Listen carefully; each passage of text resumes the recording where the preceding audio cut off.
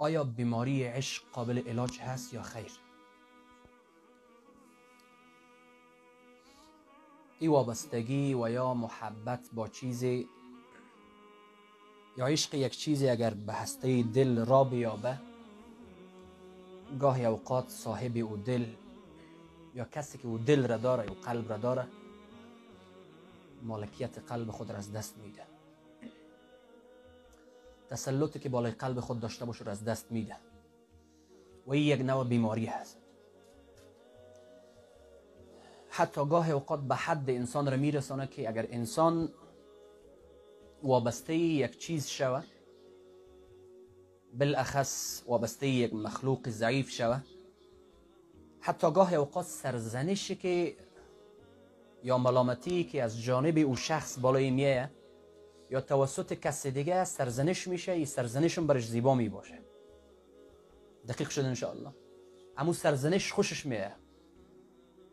از او بدی که از او آدرس به می‌رسه از او خوش میه چون درد از جانب محبوبش هست. ولی یک چیز را در ابتدا ما برایتان یادآور میشم که بارها در اکثریت سخنرانی ها هم یادآوری کردیم که به چیز غیر از خدا وابسته نشه این به این معنا نیست که ما با کسی محبت نداشته باشیم کسی را دوست نداشته باشیم یک مسلمان را دوست نداشته باشیم. به این معنا نیست. اگر این محبت یا عشق به درجه افراط برسه انسان باز به حالت وابستگی می‌رسه ای که به حالت وابستگی رسید این گویا به او چسبیده هست. خود را از او جدا کرده نمی‌تونه. تمام غم و همش عمومی باشه. انسان هایی که وابسته باشن از زندگی لذت برده نمی‌تونن و کسایی که وابسته باشن به مخلوق یعنی به غیر خدا وابسته باشن اونها ای تو فکر می‌کنه که وابسته چیزی که شدن. گویا فکر می‌کنه که جزی از وجودشان هست. این چیزهایی که تو یا ما یا کسی دیگر یعنی به غیر خدا ما وابسته میشیم به یک مخلوق وابسته میشیم چون ما او را جزء خود فرض کردیم. وقتی که اونا رفت طور فکر می‌کنیم طور کمیر احساس می‌کنیم گویا جزئی از وجود ما رفته باشه.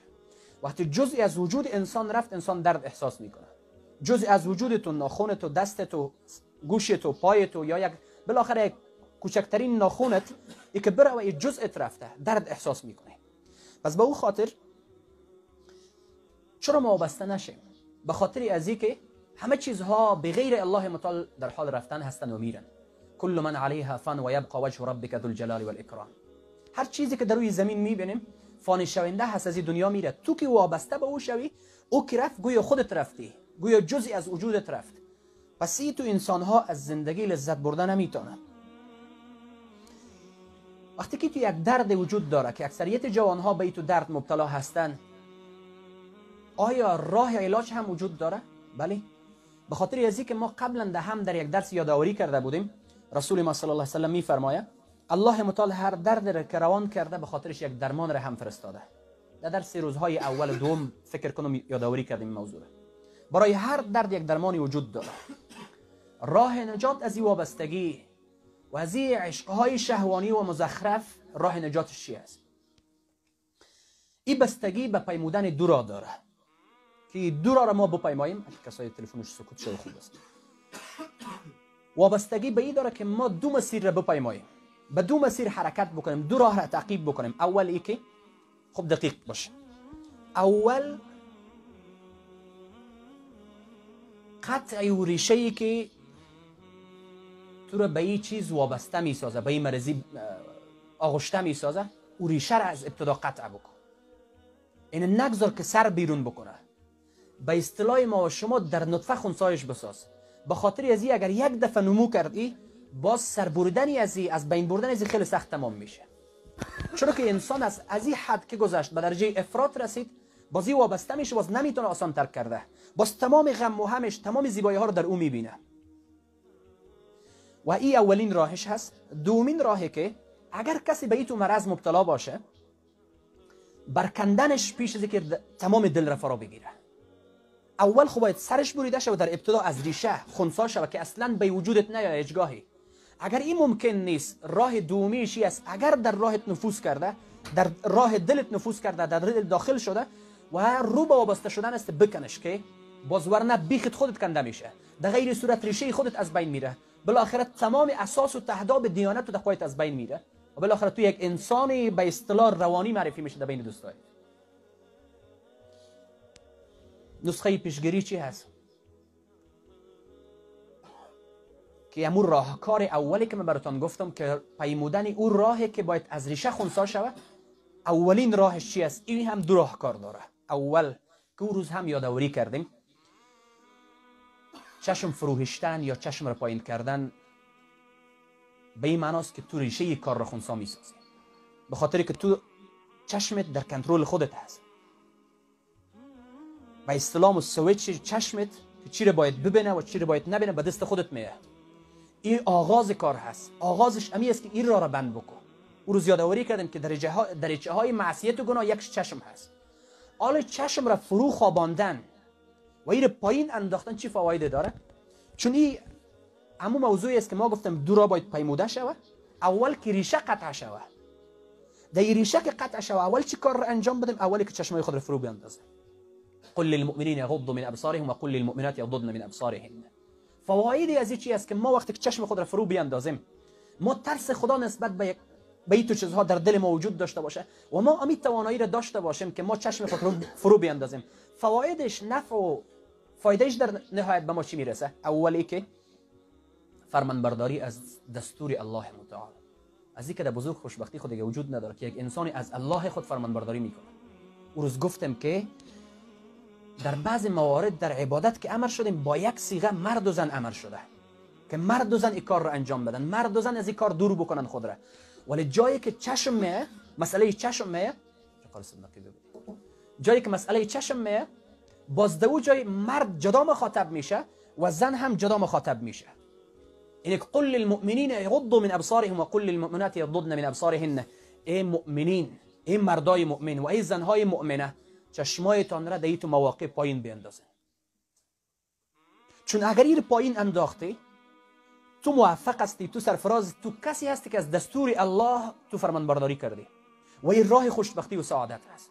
پس اولین فایده ای که تو چشمت فرو می اندازی این به این معنا هست که تو از الله فرمانبرداری می‌کنی. الله از تو کرد از موجود ضعیف کرده بر تو ارزشمند هست. الله تا دوست داره.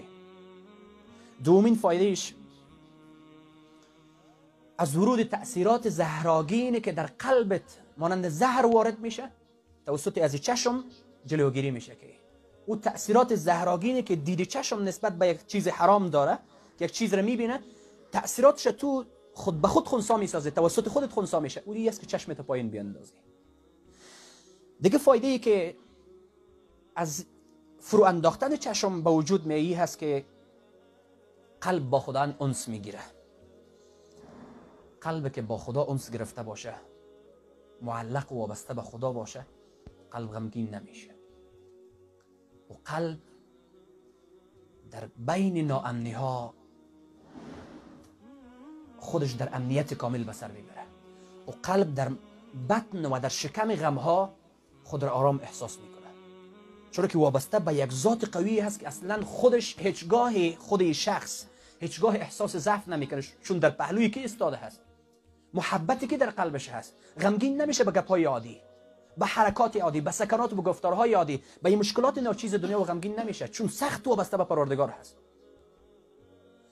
گاهی اوقات ما خود را خود ما قوی نیستیم اما یک کسی دیگه قوی در پهلوی ماست به خاطر خود احساس خود ما احساس قوت می‌کنیم. وقتی زمانی که یک ذات قدرتمند که فوق همه قدرت ها هست که قدرتش در تصور ما تو نمیگنجه کی در کنارت باشه تو چی احساس خود کردی؟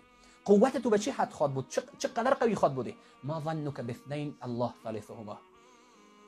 اما غار که پیامبر با ابوبکر داخل میشه ابوبکر احساس ترس می‌کنه که چه دشمن پشت ما نیاد. ما ظنک باثنین الله ثالثهما. در مورد او دو شخص توی ابوبکر چی گمان داره که سومش الله باشه؟ در مورد او شخصی که چی گمان داره که تنها هست در کنارش الله هست. گاهی اوقات ما میگم نه. میگم من هیچ کسی جز الله ندارم. خیلی جالب است دیگه من هیچ کسی جز الله ندارم. خیلی چی داشته باشی تو دیگه چی می‌خوای؟ دیگه سرمایه تو چی هست؟ از این بیشتر سرمایه وجود داره. خود ما با اعتراف می‌کنیم که من جز سرمایه هیچ چیز ندارم. نه قدرت نه ثروت نه پول نه فلان. یک خدا جز خدا هیچ کسی نداره. و بزرگترین چیز را داره قدرتمندترین ذات در کنارت هست. پس وقتی که ما چشم خود را فرو می اندازیم قلب با الله انس می‌گیره. به الله نزدیک میشه. احساس آرامش می‌کنیم. در عبادت خود از عبادت لذت می‌بریم. دیگه فایده ای که ما چشم را فرو اندازیم چی هست؟ قلب آدم قوی میشه و مسرور می باشه قلب ها قوی می باشه قلب های قوی کارهای قوی را انجام میدن. ضعیف نمی باشن سست نمی باشن تنبل و کسل نمی باشه در غیر صورت اگر قلب یک جا استقامت نداشته باشه قوی نباشه این قلب پراگنده هست. قلب پراگنده مسیرهای پراگنده را تعقیب می‌کنه. از قلب پراگنده برنامه های پراگنده تولید میشه. مسیر پراگنده را تعقیب می‌کنه. و کسی که به خدا وابسته هست او مسیرش معلوم است در هر مسیر فقط یک آدرس رو تعقیب می‌کنه که رسیدن به الله متعال. و از او که دوست بالاتر دیگه پیدا نمیشه. اگر می‌خوایم قلب ما قوی شه چشم فرو بیندازه. خیلی قوی حالا الحمدلله در بازاری که ما تو زندگی می‌کنیم در شهری که ما تو زندگی می‌کنیم الحمدلله به او اندازه جایی نیست که طرف حرام ببینی. اما از این موبایل ها متوجه موبایل هایتان باشه. این چیزی که در دستت از تمام بدی ها در داخلش هست و میشه که به خوبی ها هم تبدیل شود. دیگه از فوایدی که قلب چشم را پایین بیندازم چی هست؟ قلبی تو انسان ها نورانی هست. روشن هست. احساس روشنی می‌کنه. در عمق تاریکی هایی در مسیر اشتباه نمیره. شما اگر این آیه ها رو خوانده باشین قل للمؤمنین یغضوا من أبصارهم و قل للمؤمنات یغضضن من أبصارهن. این آیه های 30 و 31 و 32 و 33 است بعد از إدامة ای آیه در یک جای میفرماید آیه 35 شاید باشه الله نور السماوات والأرض. و کسی نورانیت خدا را در یک جای درک میکنه که چشم خود فرو بیندازه. بعد از این مسئله ذکر شده که الله نور السماوات والأرض. الله متعال نور آسمان ها و زمین هست. چون اگر أو انسانی که چشم خود را فرو می اندازه اون نورانیت در قلبش وجود داره. أو هر چیز را در هر مسیر تاریک قرار داشته باشه او چیز روشن می‌بینه. مسیر را اشتباه نمی‌کنه. چون او یک نورانیت در درون وجود داره که توسط اون نورانیت در حرکت است. دیگه از فواید فرو انداختن چشم ای هست که فراست فراست و زیرکی نصیب انسان میشه. کسی که چشم خود فرو می اندازه یه انسان هوشیار می باشه انسان زیرک می باشه این فراست می داشته باشه. تفکیک کننده بین حق و باطل می باشه ذهنش خیلی فعال می باشه حتی چیز رو زودتر نسبت به دیگران می‌فهمه. می‌تونه که یک مسئله را نسبت به یک شخص دیگه زودتر بفهمه. می‌تونه که حق و باطل رو زودتر درک کنه که حق اسی باطل هست. اتقوا فراست المؤمن فانه ينظر بنور الله. از فراست مؤمن بترسین به خاطر که به نور خدا نظر می‌کنه. توسط نور خدا می‌بینه. پس این از فواید چشم هست فرو انداختن چشم هست که قلب انسان قوی میشه نورانی میشه و فراست و زیرکی نصیب تو انسان میشه. دیگه از فواید فرو انداختن چشم ای هست که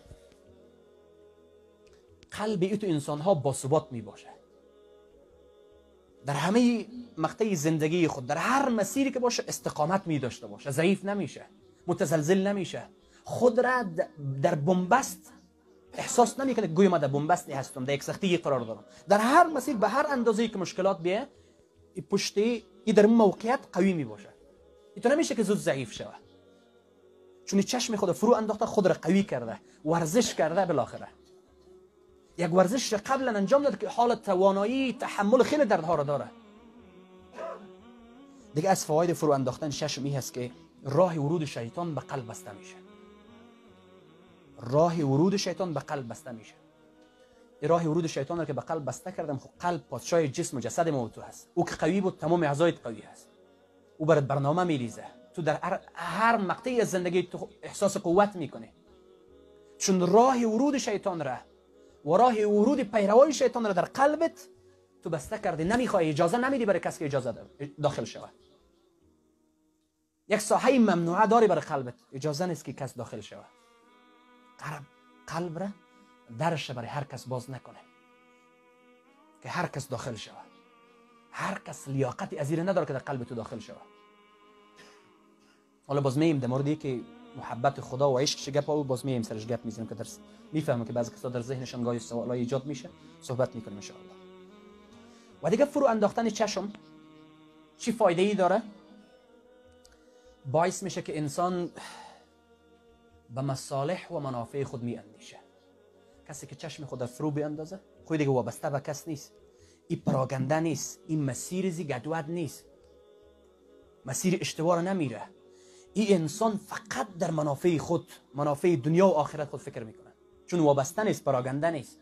ولا تطع من اغفلنا قلبه عن ذکرنا واتبع هواه وكان امره فرطا. از او کسایی پر فرمان برداری نکنن که ما قلبشان را از یاد خود غافل کردیم. ما اونها را از یاد خود غافل کردیم از اونها پیروی نکنه.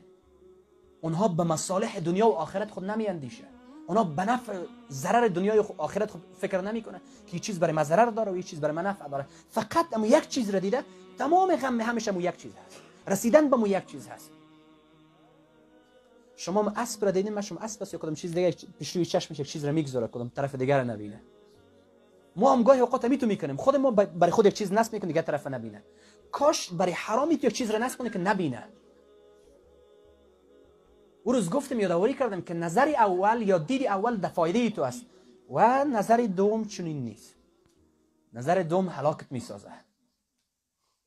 نظر دوم تمام خوبی های زندگی را ازت می‌گیره.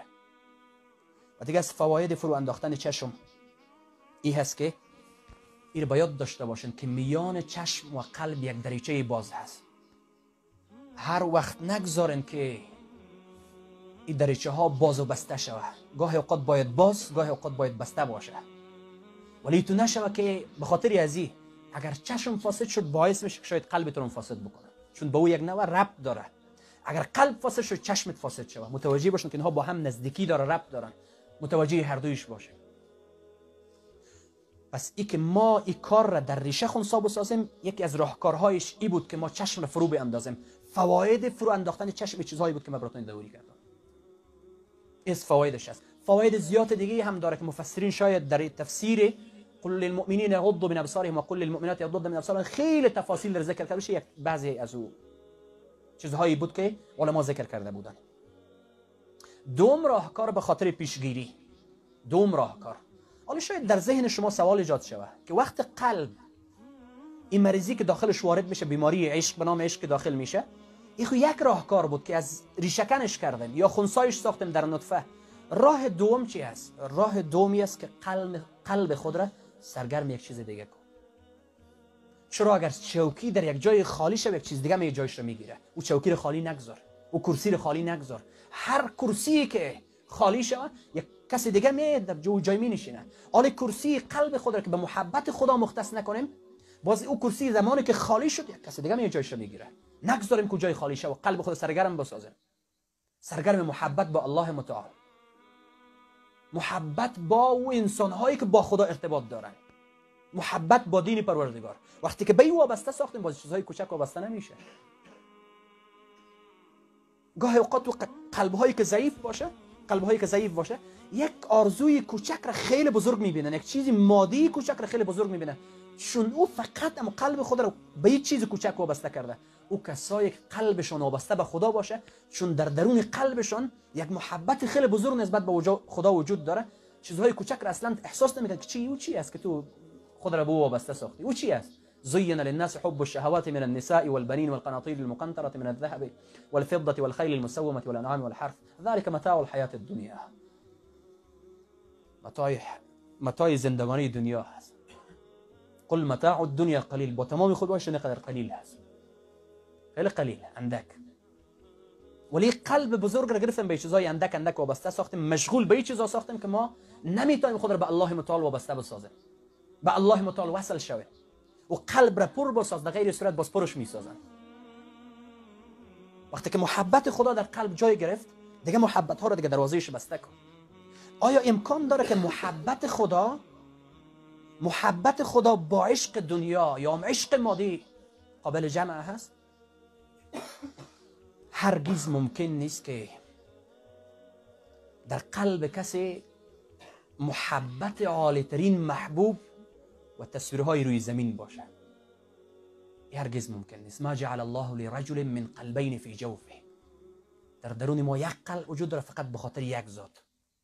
هیچ امکان نداره که هم محبت خدا در قلبت باشه هم تصورات یا تصویرهای انسانهای زمینی یا چیزهای مادی غیر خدا باشه. یا موجودات مادی در چشم خود که یعنی غیر خدا هر چیزی که باشه. امکان نداره که یک جای جمع شود. و اگر کسی هم دوست داشته باشه به خاطر می ترین محبوب دوستش می داشته باشه. به او خاطر دوستش می داشته باشه. و این مضمون نیست در اسلام که کسی کس دوست داشته باشه. اما اگر دوست داشتن جای خدا رو گرفت دوست داشتن نیست. یک نوع افراد هست یک نوع خود را فریب دادن در محبت است. آیا ما قدر پابند امر الله هستیم که دوست پابند امر دوست خود هستیم؟ آیا با ما اندازه پابند امر خدا هستیم که پابند امر نامزد خود هستیم؟ آیا ما با ما اندازه پابند امر خدا هستیم که پابند امر پدر خود هستیم. اگر امر خدا جایگاه اول را داره و حرف اول را می‌زنه درست است که محبت تو با خدا داره. در اول قرار داره با دیگه کسا به خاطر خدا محبت. نیش مشکل نداره.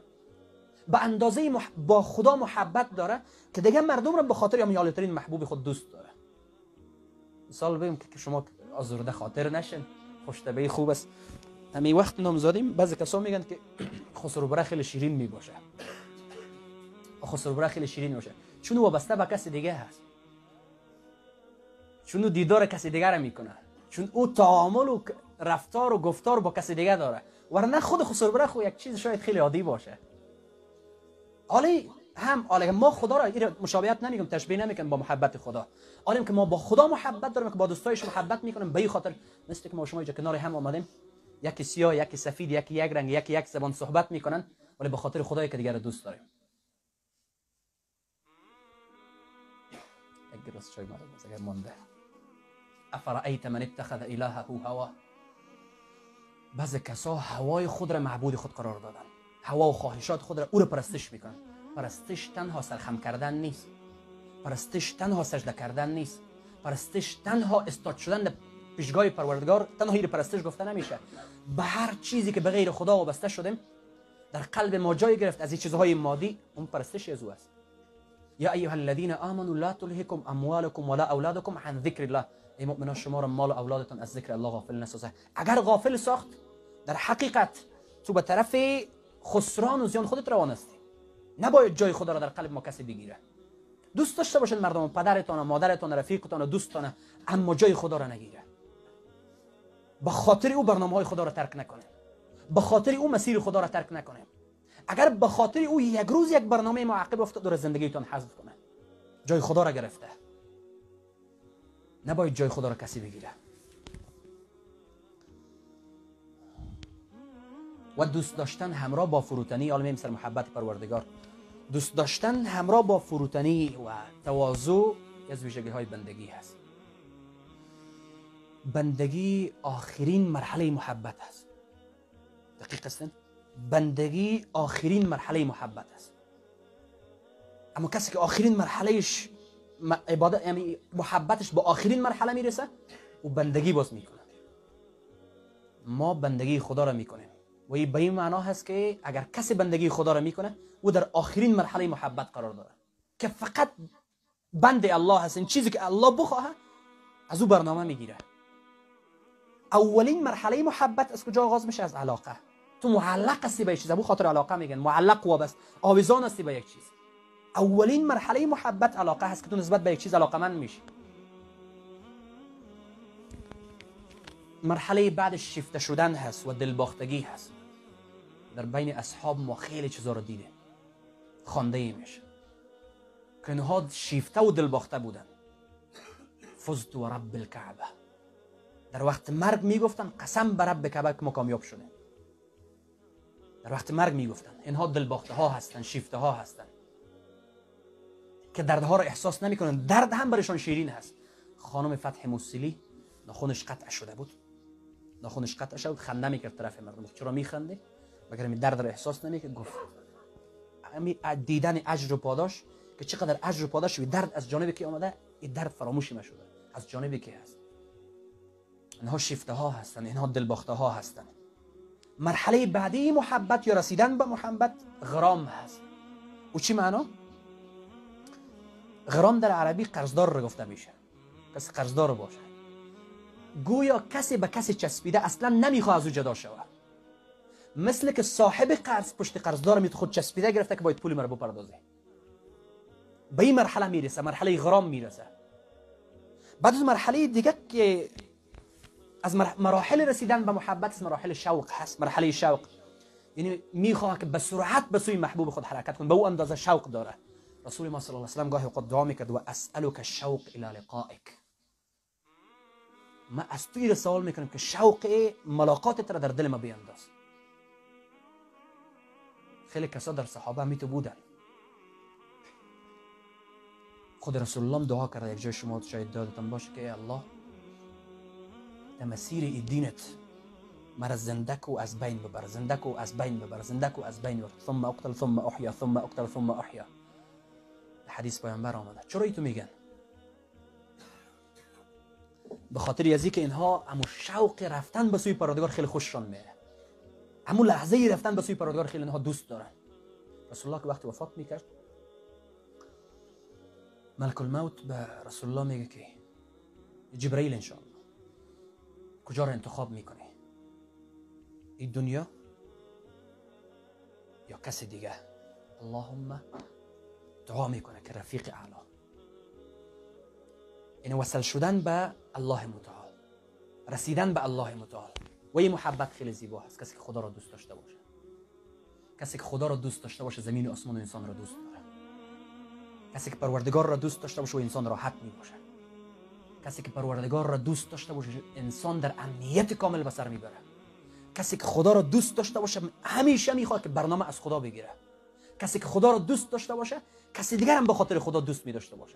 کسی که خدا را دوست داشته باشه با خاطر خدا با کس دشمنی می‌کنه چون او با خدا دشمنی داره.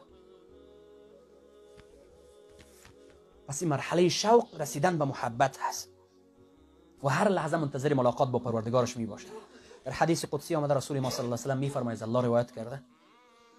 الله میگه که یک بنده توسط فرایض به من خود نزدیک می‌سازه و بنده های به توسط نوافل تا اون تا به او اندازه که من اونها رو دوست می داشته باشم دقیق متوجه باشه ادامه حدیث چی میگه؟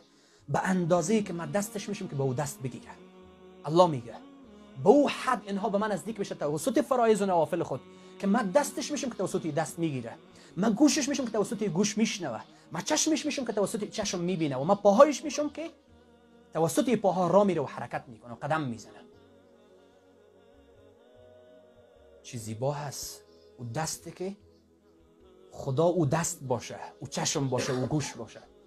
گاهی اوقات یک نفر یک کار را انجام میده به اندازه خود خود کار انجام دادن نمی‌تونه. اما یک انسان است که دست است به اندازه دست هزارها انسان کار می‌کنه. و دست کدام ویژگی فیزیکی نداره. بعضی دیدها خیلی قوی باشه. از دیدن تا دیدنها. بعضی دید خیلی ضعیف بعضی دیدها به اندازه قوی است که به انداز به حد و اندازه هزارها انسان می‌بینه. به او اندازه قوی است. خب می‌فهمی که باز چی خاطر قوی است. ما دستش میشم که با او دست بگیره. ما پایش میشم. یک ویژگی یک گپی که خود ما و شما می‌فهمیم گپ اما یکی دیگه چی سر و اسرار هست که الله میگه ما چشمش میشم که با او چشم می‌بینه. ما گوشش میشم که با او گوش میشنوه. ما پایش میشم که با او پاها را میره. و ما دستش میشم که با او دست می‌گیره. بعض دست ها خیلی ایمانی می باشن بعض چشم ها خیلی ایمانی می باشن گوش ها ایمانی میشه و پاها ایمانی میشه. فقط در جستجوی رسیدن به خالق قدم می‌زنه. فقط فقط به خاطر رسیدن به پروردگار می‌گیره. فقط به خاطر ملاقات با پروردگار می‌بینه و فقط به خاطر رسیدن به الله متعال و شوق و محبتی که نسبت به خدا داره فقط به خاطر خدا میشنه شما می لحظه شاید کار داشته باشین. حتما یک جای وظیفه داره یا کسی که live را میشنوه. تو می‌تونی که می لحظه یک کار دیگر انجام بده اما الله متعال تو رو انتخاب کرده باید با چشم فقط امی ره ببینی. امی ره بشنو بشنوی. به می طرف حرکت بکنی به می طرف بی. انتخاب خدا هست دیگه. حدیث دیگه آمده رسول ما صلی الله علیه و سلم میفرمایه از الله روایت کرده. الله میگه من با بنده خود هستم. حدیث ادامهش آمده لفظ عربیش فراموش شده میگه تا زمانی که لبهای بنده ما به خاطر یاد ما تکان می‌خوره من با او هستم. تا اون زمانی که لبهای بنده ما به خاطر یاد ما تکان می‌خوره من با این بنده خود هستم.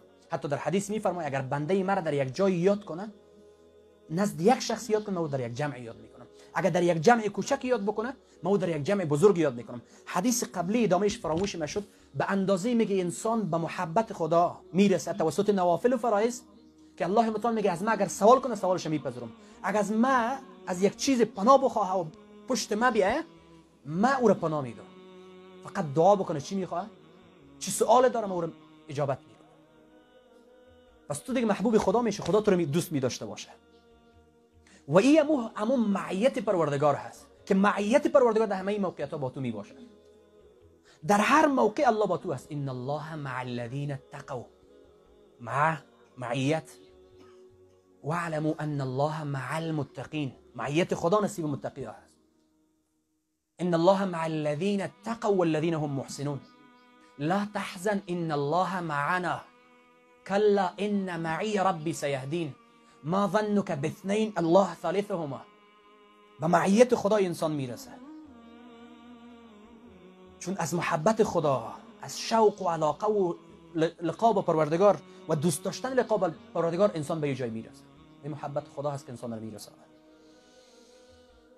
وقتی یک انسان ضعیف با خدا یا موت با خدا ارتباط داریم با او محبت داریم دیگه سختی ها برای انسان آسان میشه. از همه چیزها لذت می‌بره و تقدیرات پروردگار راضی می باشه در مواقعی که مشکلات و غم بالش میه خود دیدش دیدی دیگه هست. آدرس دیگر می‌بینه جای دیگر می‌بینه. واصبر فانک باعیننا صبر کن تو تو در زیر دید چشم ما قرار دادی. او می‌فهمه که کی مرا می‌بینه می لحظه. این حالتی که من دارم این دردی که من احساس می‌کنم پریشانی و غمی که من دارم این مشکلات خانوادگی و اقتصادی و فامیلی که من دارم یک کسی هست که این حالت را نظارگر است. یک کسی است که از کسی که با ما خیانت کرده با ما جفا کرده بالای من مهربانتر از است. یک کسی در کنار من قرار داره که از مادر و پدر و اولاد و فرزند و دوست و رفیق و هر کسی نزدیکتر که به تو نزدیک باشه از او کرده به من نزدیکتر است و مرا دوست داره. و الله هست. و آخرین مراحل محبت بندگی خدا هست. کسی که بندگی خدا رو می‌کنه و خدا رو دوست داره. و از مرحله علاقه و شوق گپا گذشته به مرحله رسیده که سر خود پیشگاه خدا خم می‌کنه که سخت دوستت دارم. بی نهایت دوستت دارم. عبادت خود را طولانی می‌کنه. ملاقات با پروردگار خود طولانی می‌کنه. همیشه غم و همش خوردنش نوشیدنش رفتنش فقط دیر خدا هست. چگونه ما به خدا برسون اللهم انا نسالك رضاك والجنه ونعوذ بك من سخطك والنار. ای الله ما رضای تو رو دوست دارم. فقط تو از ما راضی باشی. فقط تو از ما راضی باشی. من دیگه نمی‌خوام کی از ما راضی است کی از من ناراض است. فقط الله از ما راضی باشه. و آخرین مرحله محبت امی بندگی خدا هست که انسان به بندگی خدا برسه و بنده خوب خدا باشه. این بندگی خدا چیزی عادی نیست. یک چیز عادی باشه که بندگی چی خواد بوده اگر یک بارگوی بنده من از عرش بگذرد خنده من. الله متعال که رسول الله رو به ملاقات می‌خواه سبحان الذي اسرا بعبده توسط عبد. با عبد با کلمه عبد و بنده بودن او رو خطاب می‌کنه مرحله رو ببین سفر رو ببین ملاقات کی با کی قرار داره؟ با کی با کی ملاقات می‌کنه؟ مرحله عبودیت هست مرحله بندگی هست. جایی که از کتاب خدا یاد میشه قرآن بزرگترین کتاب ان کنتم فی ریب مما نزلنا على عبدنا. اگر در کتابی که شما شک دارین در چیزی که ما نازل کردیم شک شک دارین بالای بنده خود بنده نازل کردیم در حدیث شفاعت و شفاعت یک مرحله خیلی بزرگی هست در صحرای محشر. مرحله شفاعت در اوجه رسول الله میگن در مورد رسول الله آمده الله میگه که دیگه از انبیا میگه اذهبوا إلى محمد. برن طرف محمد. عبد غفر الله, غفر الله له ما تقدم من ذنبه و ما تأخر.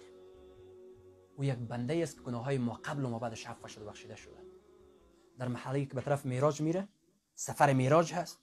ملاقات با پروردگار است کلمه عبد. جایی که در مورد قرآن صحبت میشه که بالای پیامبر شده کلمه عبد. جایی که مرحله شفاعت هست کلمه عبد. این عبودیت و بندگی و او تو ذات معبود را پرستش کردن این نهایت محبت و علاقه و عشق و شوق یک انسان را نسبت به خدا نشان البته نسبت به خدا باید کلمه محبت استفاده شود. چون کلمه عشق خیلی جاها در جاهای دیگه استفاده میشه. خوب نیست که استفاده شده اون موقعیت. محبت استفاده شو خوبتر هست. ولی اگر کدام کسی گاه اوقات استفاده کرد فکرش نبود باز کافر نگویمش خدا ما شما رو به جای برسنه که هم دوست خدا شویم هم خدا رو دوست داشته باشه هم خدا ما رو دوست داشته باشه. رسول الله دعا میکرد که اللهم انی اسألک حبک و حب من یحبک و حب حبیبک و حب من یحبک و حب عمل یقربنا إلى حبک. محبت خودت را به من نصیب کن. و محبت خدا نصیب شدن خیلی سخت است. که کسی محبت خدا در قلبش باشه. کسی که محبت خدا در قلبش باشه خیلی قوی است خدا این محبت نصیب ما شما بگردانه که ما محبت خدا را در قلب خود احساس بکنیم و گاه اوقات احساس میشه که کسی احساس برسه به خدا به محبت خدا برسه به زور احساس کرده می‌تونه. باز لذت می‌بره از عبادت خود. باز خسته نمیشه از عبادت از شنیدن سخنای یار باز خسته نمیشه. باز همیشه می‌خواد با یار و با محبوب باشه. از ملاقات با او از بودن با او از چیزی غمی که از جانب او به این می‌رسه. باز تمامش خوشحال و راضی است هیچ غم نداره. کان رسول الله صلی الله علیه و سلم متواصل الاحزان پیامبر اکثریت اوقات غمگین می بود ولیکن در حدیث اومده که پیامبر همیشه مبتسم بود تبسم کننده. چی معلوم میشه از جای خدا رو دوست داره تبسم می‌کنه که این مرا می‌بینه الله متعال. سخنای ما تمام شد.